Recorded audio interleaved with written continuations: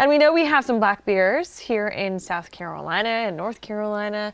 Experts say they are not aggressive towards humans. So here's what we learned from DNR. If you come face to face with one or if you're in close range with one, you should avoid direct eye contact. Do not have a stare down. Make yourself look as big as possible by waving your arms. Something I wouldn't think, but uh, all right. And you should also speak in a calm, assertive voice while backing up slowly.